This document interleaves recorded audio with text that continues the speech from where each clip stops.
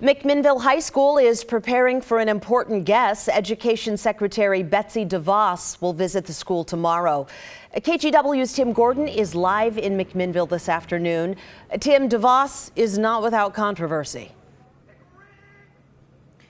No, she's not, Brenda, so you can expect some protesting during her visit tomorrow. School administrators hope it does not get in the way of showing her the good things happening at this school.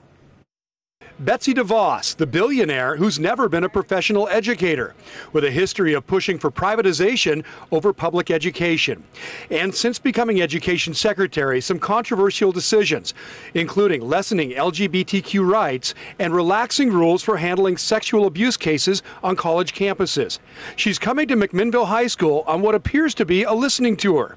Her opponents may have something to say. They're organizing on Facebook to protest. The district safety manager says that's fine off campus. It'll be a safe event. All, all we ask is for people to uh, respect, you know, the students' safety and and uh, the fact that they're here to learn and go to school and, you know, not be bothered. DeVos is set to tour the high school for about an hour. It's been picked because good things are happening in closing achievement gaps, graduation rates, and hands-on learning. DeVos will get a look at the school's Engineering and Aerospace Sciences Academy, an example of connecting learning to careers.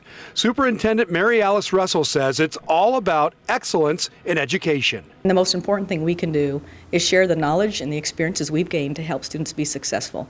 And anything we can do to share that information with someone else, regardless of their position or their belief systems, I think will help them shape their own decisions and, and future uh, beliefs about education.